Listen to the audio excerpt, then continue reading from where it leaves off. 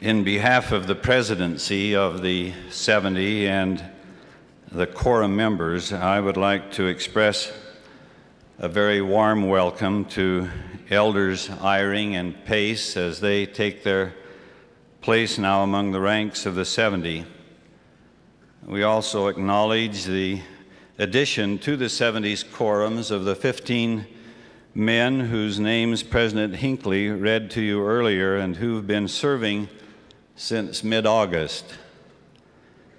Our best wishes also to Bishop Edgley and Bishop Burton, who now take their places beside Bishop Hales in the presiding bishopric of the, bishopric of the church. And we acknowledge our love and continuing deep respect and admiration for those men whose tenure as 70s has concluded officially at, at this general conference.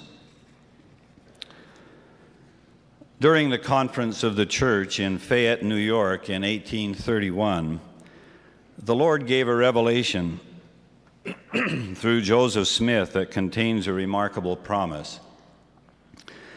I have made the earth rich, the Lord declared, and behold, it is my footstool. Wherefore I again will stand upon it. And I hold forth and deign to give unto you greater riches, even a land of promise, a land flowing with milk and honey, upon which there shall be no curse when the Lord cometh. And I will give it unto you for the land of your inheritance if you seek it with all your hearts. And this shall be my covenant with you. Ye shall have it for the land of your inheritance, and for the inheritance of your children forever, while the earth shall stand. And ye shall possess it again in eternity, no more to pass away. The Lord has demonstrated throughout the generations that when the inhabitants of the earth remember him, and are obedient to his direction. He will bless them not only with spiritual blessings, but with material abundance as well. The scriptures contain many evidences of the Lord's willingness to prosper his people with the riches of the earth when they demonstrate that they will use this abundance prudently, with humility and charity, always acknowledging the source of their blessings. When the people of Lehi arrived in the Americas from the Old World, they felt a great dependence upon the Lord as they established their homes and worked to provide for themselves. Nephi makes this entry in his record. And we did observe to keep the judgments and the statutes and the commandments of the Lord in all things. And the Lord was with us, and we did prosper exceedingly. For we did sow seed, and we did reap again in abundance. And we began to raise flocks and herds and animals of every kind. And it came to pass that we began to prosper exceedingly and to multiply in the land. This kind of material prosperity has always been a fragile thing. It has proved to be one of the greatest tests with which a people can be confronted the essential human qualities and other factors that generate abundance have always been difficult to sustain. We see this reflected in an episode that's described in the first chapter of Alma in the Book of Mormon. As I read several of the verses from this account, make particular note of the elements that contribute to the material successes of the people, and then the factors that lead to their subsequent misfortunes. And when the priests left their labor to impart the word of God unto the people, the people also left their labors to hear the word of God. And when the priest had um, imparted unto them the word of God, they all returned again diligently unto their labors. The priest not esteeming himself above his hearers, for the preacher was no better than the hearer, neither was the teacher any better than the learner. And thus they were, they were all equal, and they did all labor, every man according to his strength. And they did impart of their substance, every man according to that which he had, to the poor and the needy, the sick and the afflicted. And they did not wear costly apparel, yet they were neat and comely. And thus they did establish the affairs of the church, and thus they began to have continual peace. And now, because of the steadiness of the church, they began to be exceedingly rich, having abundance of all things whatsoever they stood in need, and abundance of flocks and herds and fatlings of every kind, and also abundance of grain and gold and silver and of precious things, and abundance of silk and fine twined linen, and all manner of good homely cloth. And thus, in their prosperous circumstances, they did not send any away who were naked or who were hungry or that were athirst or that were sick or that had not been nourished. And they did not set their hearts upon riches. Therefore, they were liberal to all, both old and young, both bond and free, both male and female, whether out of the church or in the church, having no respect to persons who stood in need. And thus, they did prosper. It has always been so.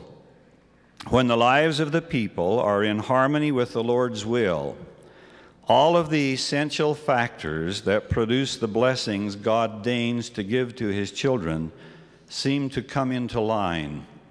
Love and harmony prevail. Even the weather, the climate, and the elements seem to respond. Peace and tranquility endure. Industry and progress mark the lives of the people. It is as the Lord has promised If ye walk in my statutes and keep my commandments and do them, then I will give you rain in due season, and the land shall yield her increase, and the trees of the field shall yield their fruit. And your threshing shall reach unto the vintage, and the vintage shall reach unto the sowing time. And ye shall eat your bread to the full, and dwell in your land safely. And I will give you peace in the land, and ye shall lie down, and none shall make you afraid. Perhaps the greatest tragedies of all time have occurred when people have received the promised blessings of the Lord and then have forgotten the source of their good life. Moses cautioned the people of Israel against this natural inclination when he said, Beware that thou forget not the Lord thy God in not keeping his commandments and his judgments and his statutes, lest when thou hast eaten and art full, and hast built goodly houses and dwelt therein, and when thy herds and thy flocks multiply, and thy silver and thy gold is multiplied, and all that thou hast is multiplied, then thine heart be lifted up, and thou forget the Lord thy God, and thou say in thine heart, My power and the might of mine hand hath gotten me this wealth. Returning to the account in Alma to which I made earlier reference, not many years passed away from the time of prosperity described in such glowing terms until the people began to take all of the credit for the good times unto themselves. We find this sad entry in Alma's record. And it came to pass in the eighth year of the reign of the judges that the people of the church began to wax proud because of their exceeding riches and their fine silks and their fine twined linen, and because of their many flocks and herds, their gold and their silver, and all manner of precious things which they had obtained by their industry. And in all these things they were lifted up in the pride of their eyes. And the people of the church began to set their hearts upon riches and upon the vain things of the world that they began to be scornful one towards another. This same cycle occurred in the days of Helaman. At one point, Helaman describes his people in this way And it came to pass in this same year there was exceedingly great prosperity in the church, insomuch that there were thousands who did join themselves unto the church and were baptized unto repentance. And so great was the prosperity of the church, and so many the blessings that were poured out upon the people, that even the high priests and the teachers were themselves astonished beyond measure. It was not long until the full cycle was completed, however. Within five years from the period just cited, Helaman makes this report regarding members of the church. And in the fifty and first year of the reign of the judges, there was peace also, save it were the pride which began to enter into the church, not into the church of God, but into the hearts of the people who professed to belong to the church of God. And they were lifted up in pride, even to the persecution of many of their brethren. These abrupt changes in the condition of the people led Helaman to lament, Yea, and we may see at the very time when he doth prosper his people. Yea, in the increase of their fields, their flocks, and their herds, and in gold, and in silver, and in all manner of precious things of every kind and art, and in fine doing all things for the welfare and happiness of his people. Yea, then is the time that they do harden their hearts and do forget the Lord their God.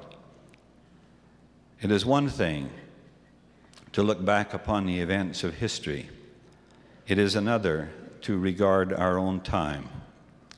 We have the Lord's assurance that He will bless and prosper His people if they will keep His commandments and remember to look to Him as the source for their blessings. On the other hand, we must not forget that these blessings are conditional.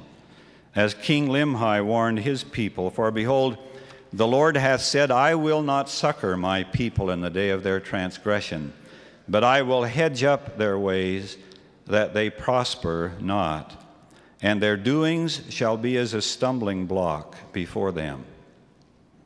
As bearers of the priesthood, to whom the Lord has entrusted the leadership for his work, we must look carefully at our own lives and we must assess honestly the level of faith and obedience of our people.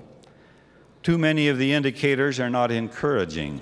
Only a small percentage of the church members worldwide are tithe payers today. For many who live in conditions of material poverty, there may be no other way to escape their impoverishment than to give obedience to this law. As I visit among the stakes of the church, I find it is not uncommon to discover that fewer than 50% of the households are contributing to the fast offerings of the church, and the trends are not improving. We've reached a point where more of our adult men are becoming prospective elders than are receiving the Melchizedek priesthood. About half of the endowed members of the church hold current temple recommends. Reports of other violations of the Lord's law are a source of concern. These indicators may seem to carry a direful tone, but as Enos declared in the Book of Mormon, sometimes it is necessary to resort to exceedingly great plainness of speech.